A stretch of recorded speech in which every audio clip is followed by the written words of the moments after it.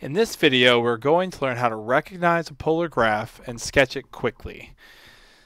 So I wrote down like all the uh, different types of graphs we found so far, excluding the spiral since it is just plugging in points and there's no necessary like pattern to follow to graph it, and also the ones that are just rewrite this from polar form to rectangular form.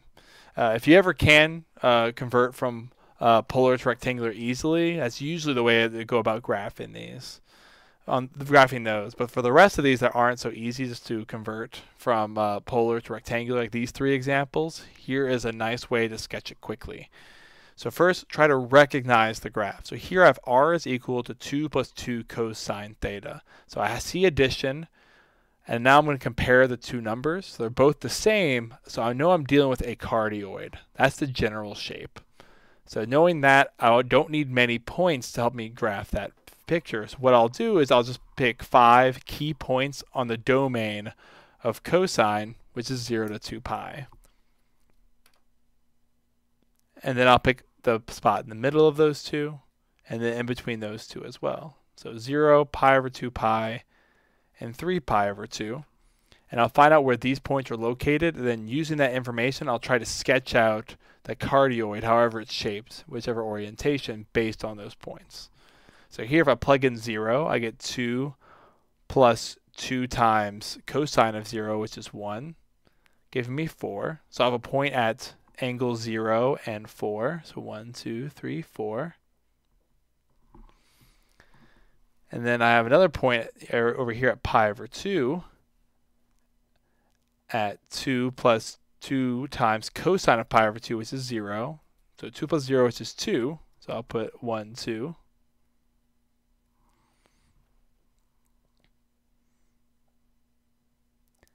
And then cosine of pi is negative 1, so 2 plus 2 times negative 1 should give me 0. So I'll have a point at 0 there. And then 2 plus 2 times cosine of 3 pi over 2, which is 0. So 2 plus 0, which is 2. So 3 pi over 2 is 2.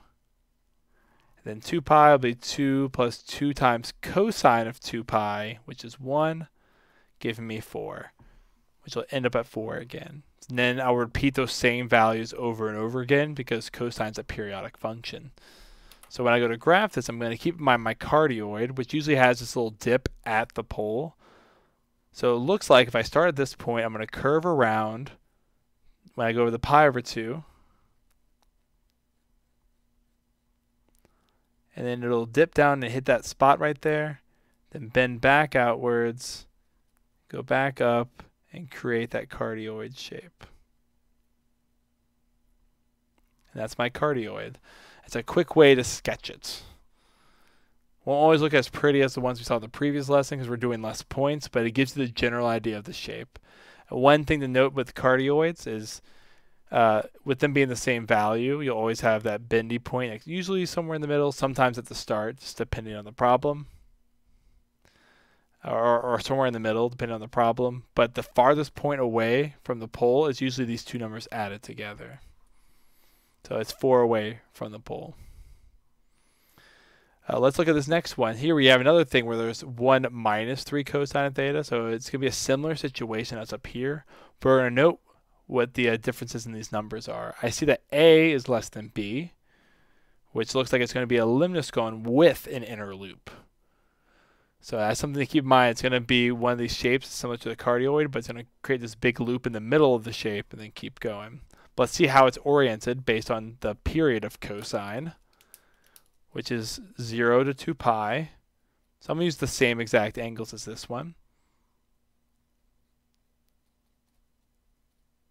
And then we'll just find those values. So 1 minus 3 times cosine of 0, which is 1 gives me negative 2. Then 1 minus 3 times cosine of pi over 2, which is 0. So 3 times 0, so that gives me 1. And then 1 minus 3 times cosine of pi, which is negative 1. That gives me 4. And then 1 minus 3 times cosine of 3 pi over 2, which is 0, Give me 1 again. And 1 minus 3 times cosine of 2 pi is 1, Give me negative 2. So I go to plot this at 0. Oh, I should have written this down. I need to identify it. So this was a cardioid. And this was a limacon with an inner loop.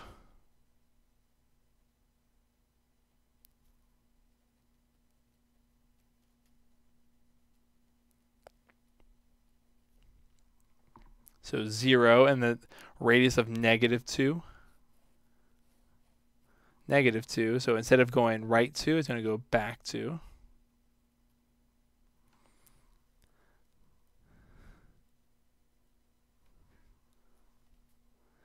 And then we have pi over 2, 1.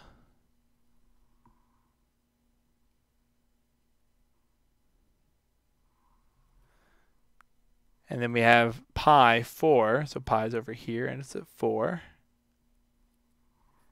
3 pi over 2, 1, so 3 pi over 2 is down here, 1. And then 2 pi, negative 2, so back to that point.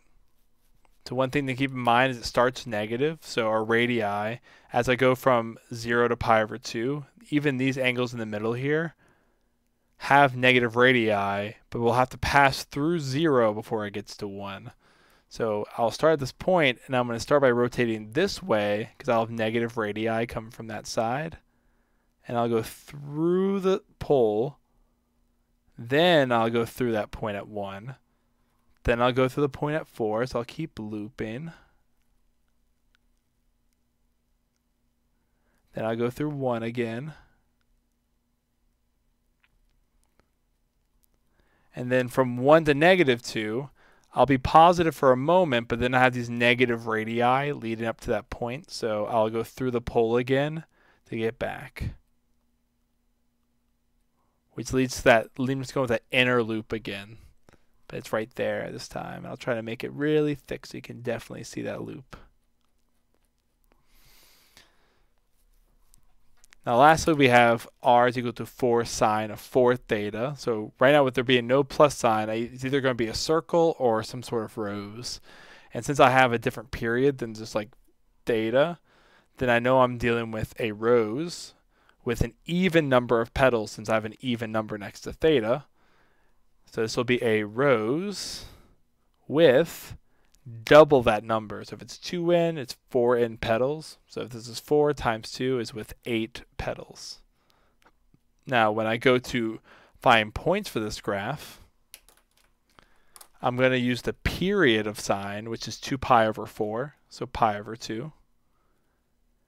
And then I'll find uh, points in between this, which will be pi over 4 is right in the middle and then I'll put pi over 8 between those two, and 3 pi over 8, which is between those two. Now, 4 times sine of uh, 0 would be 0. 4 times sine of 4 pi over 8, which is pi over 2, would be 1. So 4 times 1 gives me 4. Then 4 times sine of 4 pi over 4, which is pi, gives me another 0 and then 4 times sine of what looks like 12 pi over 8, which is 3 pi over 2, which is negative 1. Sine of 3 pi over 2 is negative 1, so it gives me a total of negative 4. And then 4 times sine of 4 pi over 2, which is 2 pi, gives me another 0. Sine of 2 pi is 0. And what's nice is this will give me that first quadrant, but it's going to repeat these values every cycle. So the next cycle would start at pi over 2 and go to pi following the same values. Then go from pi to 3 pi over 2. And then 3 pi over 2 to 2 pi. And repeat these cycle of numbers four times. So keep that in mind. So I have pi over 4 here. And then halfway in between, that would be my pi over 8 and my 3 pi over 8 between those two. And pi over 2. This would be 0. So you're going to notice that I'll start with this one, then I'm going to repeat the same pattern until I create these eight petals. So it starts out at zero, Then at pi over 8, it goes out to 4. So this is 4. Then back to 0. And then it goes to negative 4. So this point would actually go opposite of that. So negative 4 away from 3 pi over 8, then back to 0. So if I were to sketch this, it would go out to this point, come back to 0, then out to this point, and then back to 0. That's the first cycle. Now from pi over 2 to pi. So I'll note my little spots. I'm not going to worry so much about uh, what the, the uh, angles are. Just going to follow the same pattern, same distance. So 0 at pi over 2. Then at the next one, this spot is at 4, positive 4. Then back to 0. Then at this spot, it would be at negative 4.